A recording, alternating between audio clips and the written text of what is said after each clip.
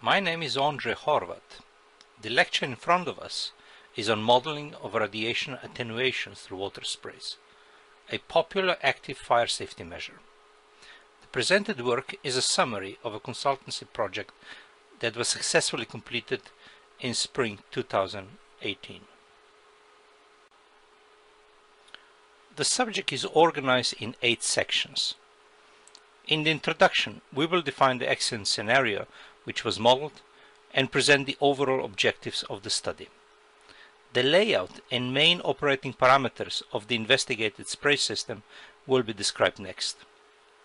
This is followed by a brief description of modeling principles of the spray and droplet behavior with the description of CFD simulation domain and its boundary conditions. We will also look in how to model thermal radiation and its attenuation by spray droplets. Next, a quick review will be performed of the initial CFD simulation results for the single and the double water spray curtain. More time will be spent on algebraic parametric analysis of radiation attenuation that determines the performance of the water spray curtain. The implementation of the analysis findings will be discussed by proposing system improvements. The CFD simulation results of such system will be also presented. At the end, I will summarize the conclusions of the study and present the design recommendations. The study explores an accident scenario of a fuel tank that is located only 45 meters from the nearest buildings. A preliminary analysis showed that in the case of a fire, Thermal radiation at the nearest buildings would still be 6 kilowatts per square meter, which is unacceptably high. A question arises if a water curtain arrangement can be designed to reduce the level of thermal radiation to 3 kilowatts per square meter. Figures 1 and 2 show a general layout of the fire source, water curtain and protected buildings together with dimensions and distances that are important for the current thermal analysis. According to preliminary studies and conducted tests, it appears that a single water curtain array is insufficient to lower the irradiation to the desired level. Therefore, an additional study is required to characterize and understand the main parameters of the radiation heat shielding system in order to improve the performance of the water curtain arrangement by either changing its current operating conditions or installing an additional row of water sprinklers. The initial tests were conducted for a single water curtain array that is shown in figure 3. In an investigated layout, the water distribution pipe and nozzles are at the elevation of 5 meters.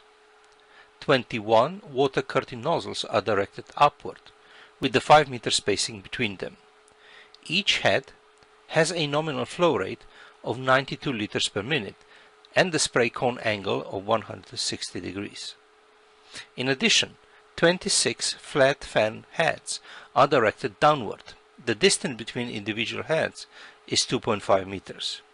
And nominal flow rate per head is 63 liters per minute with a spray cone angle of 120 degrees.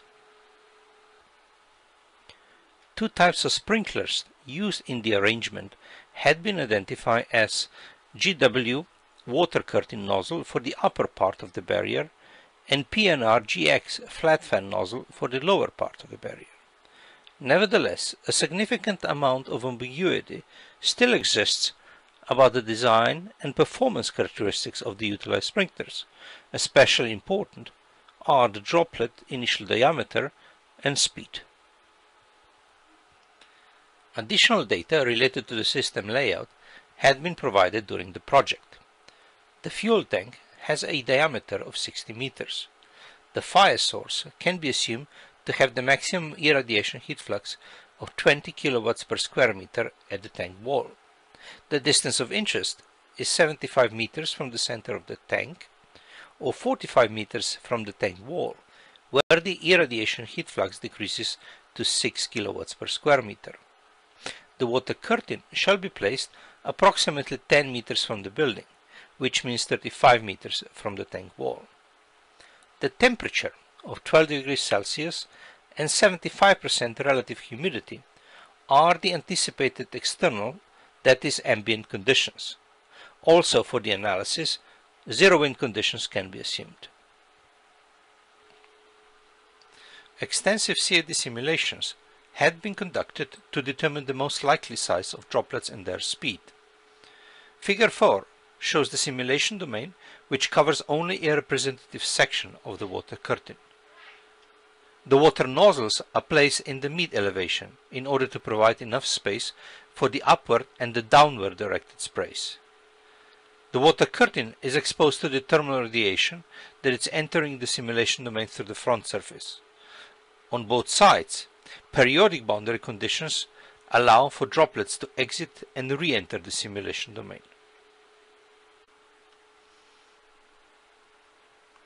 In addition, the spray nozzles are rotated for 5 degrees around their vertical axis to avoid excessive droplet collision. Figure 5 shows their orientation. The selected parameters replicate the observed spray coverage with 100% overlap. Steady-state CFD simulations had been conducted using 10,000 particle tracks to describe droplet behavior. By comparing the droplet trajectories with the test observations, the most likely spray parameters had been established. These are the droplet diameter of 800 microns, the downward speed of 12 meters per second, the upward speed of 20 meters per second, although an increase of the upward speed to 28 meters per second had been later recommended to improve the vertical coverage. Modeling of radiation interaction with the gaseous mixture and the spray droplets is another important subject. In the conducted CFD simulations, the Monte Carlo radiation model with 10 million photon tracks had been employed. In this model, a directional source that is equivalent to the black body radiation of 20 kilowatts per square meter at the tank wall is imposed at the front of the simulation domain. The absorption and emission of the gaseous mixture are captured with the multigray radiation approximation. The radiation absorptivity associated with the spray droplets alpha is calculated as where psi is related to the spectral index of absorption K and D is the droplet diameter. As psi is wavelength dependent, the resulting radiation absorptivity needs to be averaged over the whole spectrum. On the other hand, the effect of scattering can be neglected due to relatively large size of droplets. It is worth emphasizing that attenuation of thermal radiation is associated with the radiation absorptivity and emissivity of liquid droplets and water vapor. Whereas the liquid droplets are directly produced by water sprays, the water vapor is either the result of high relative humidity prescribed as an initial condition or due to droplet evaporation. In addition, the modeling tasks have to be conducted in the cylindrical coordinate system, to accommodate the expanding nature of the radiative heat transfer, that is, the decreasing intensity with the distance from the source. Figure 7 presents the radial distribution of the irradiation heat flux in absence of the spray curtain. The fuel tank with the fire is on the left and the location of the periodic CFD simulation domain is marked on the right. These initial modeling results had been also compared with the output from the DNV Phast software. A close agreement between both sets of modeling results had been demonstrated. CFD simulations had been conducted for a single and a double water spray curtain. Particle tracks for the single water spray curtain are presented in figure 6. Figure 8 below shows the particle tracks for a staggered arrangement of the double water spray curtain. Note that droplets of the double water spray curtain do not reach the same height as those of the single water spray curtain due to stronger entrainment of the ambient air. Figure 9 shows the irradiation heat flux attenuated by the single and figure 10 by the double water spray curtain at the distance of 75 meters from the origin. A visual comparison of both cases does indicate a decrease in the irradiation heat flux when implementing the second water spray curtain. Nevertheless, the reduction is smaller than expected.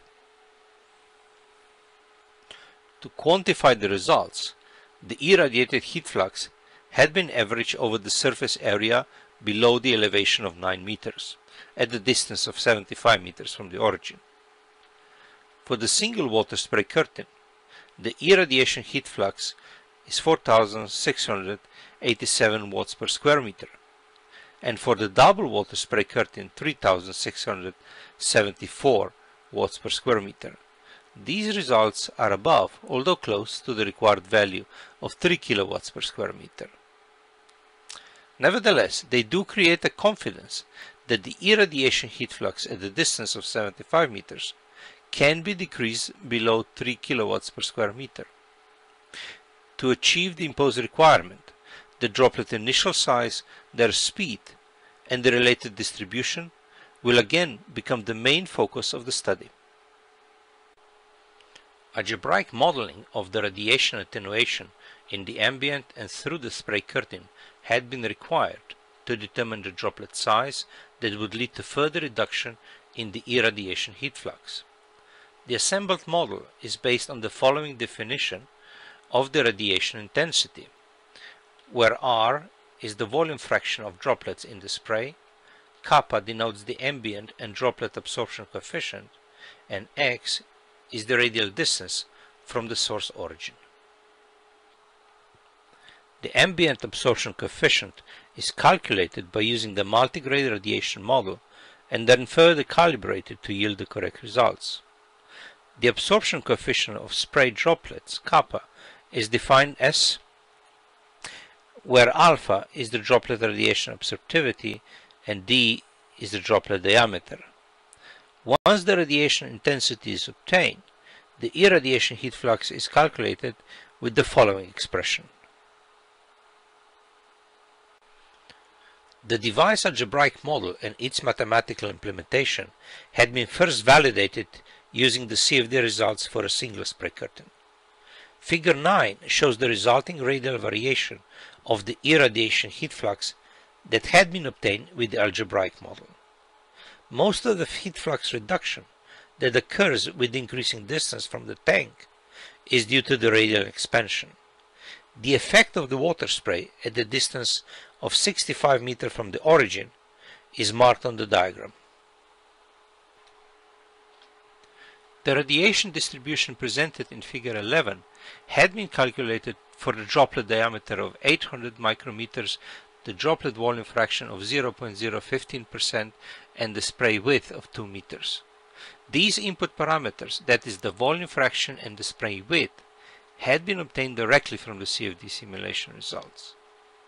The algebraic model yields the irradiation heat flux of 4713 watts per square meter at a distance of 75 meters from the origin. This closely matches the average irradiation heat flux of 4687 watts per square meter that we obtained with the CFD model for a single curtain system. The developed and validated algebraic model had been then used to conduct a parametric analysis in which diameter of spray droplets had been reduced in steps from 800 to 200 micrometers at the liquid water flow rate that had been kept constant over the 5 meter log section represented by the simulation domain. To avoid the dependence of the algebraic model on the input parameters from the CFD simulations, that is, on the droplet volume fraction R and the spray width x, the droplet speed u can be calculated from the force balance, where the droplet drag coefficient CD is obtained via the Schiller-Naumann correlation. The main attenuation parameter, r times x, can be found from the mass conservation equation, where m dot is the mass flow rate and L is the length of the section, which is 5 meters in the investigated case. These few relations showed that with the reduction of the droplet diameter d, the absorption coefficient kappa increases. The droplet speed u decreases and the main attenuation parameter r times x also increases. Note that the droplet terminal speed u is the lowest speed a droplet can attain during a free fall and therefore will, in most cases, lead to an overestimate of the radiation attenuation. The results of the parametric analysis for a single curtain system are shown in Table 1. The first column is presenting a list of droplet diameters which had been included in the study. The second column the related droplet speed and the third column the attenuation parameter R times X. The last column contains the anticipated irradiation heat flux at 75 meters from the origin or 45 meters from the tank wall. It is shown that the desired level of radiation attenuation is achieved when the droplet diameter is reduced below 500 micrometers. But the smaller diameter droplets do create a narrower spray, which does require an increased number of smaller nozzles with a lower flow rate per unit length. Based on the results of the algebraic parametric modeling, CFD simulations had been also conducted for droplet diameters of 500, 400 and 300 micrometers. The number of nozzles had been doubled, whereas the water flow rate per nozzle halved to preserve the overall flow rate.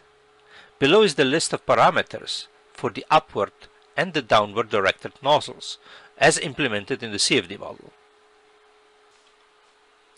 The vertical elevation of the frame with nozzles had been increased from 5 to 6.5 meters to improve the coverage and to preserve the height small droplets are able to reach. The initial droplet speed had been left unchanged at 12 meters per second for the downward sprays and 28 meters per second for the upward sprays. Figure 12 shows the particle trajectories and figure 13 the irradiation heat flux at 75 meters from the origin for one of the cases where the droplet diameter is 300 micrometers. To quantify these simulation results, figure 14 presents the vertical distribution of the main attenuation parameter R times X and figure 15 the resulting irradiation heat flux and 75 meters for all investigated droplet diameters. The results clearly demonstrate that with increasing value of attenuation parameter, the irradiation heat flux decreases. In the case of droplet diameter of 300 micrometers, most of the local irradiation heat flux is below the required value of 3 kilowatts per square meter. Table 2 summarizes the average irradiation heat flux at 75 meters from the origin. Based on the presented results, we can confirm that the droplet diameter should be reduced to 400 micrometers for a single curtain system and the nozzle raised to 6.5 meters in order to provide an adequate vertical coverage. In addition, we can also conclude that for larger droplet sizes, a double curtain system is necessary to reduce the irradiation level at 75 meters below 3 kilowatts per square meter. With this, I would like to thank you for all your attention. I hope you found the lecture interesting. For any specific question, please do not hesitate to contact me.